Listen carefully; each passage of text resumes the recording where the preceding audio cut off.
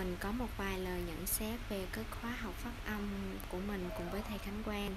Trong quá trình mình học phát âm cùng với thầy á về phía thầy thì thầy rất là um, nhiệt tình tận tâm. Um, còn về phát âm á thì thầy luôn luôn uh, hướng dẫn uh, đưa ra những cái uh, cách thức để mình phát âm làm như thế làm thế nào để cho nó đúng làm thế nào cho nó chuẩn.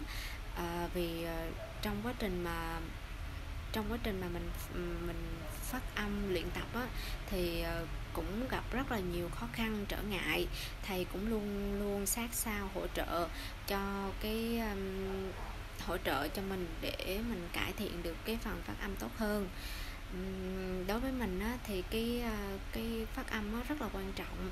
Vì mình uh, phát âm đúng thì mình mới nghe được uh, nên là uh, mình nên dành nhiều thời gian cho cái việc phát âm á, luyện tập mỗi ngày để cái được để cái phát âm của mình nó cải thiện tốt hơn. À, ngoài ra thì mình nên là bỏ mặc những cái uh, mặc cảm ngại ngùng uh, không sợ sai uh, để giúp mình uh, giao tiếp cái tiếng anh được uh, tốt hơn.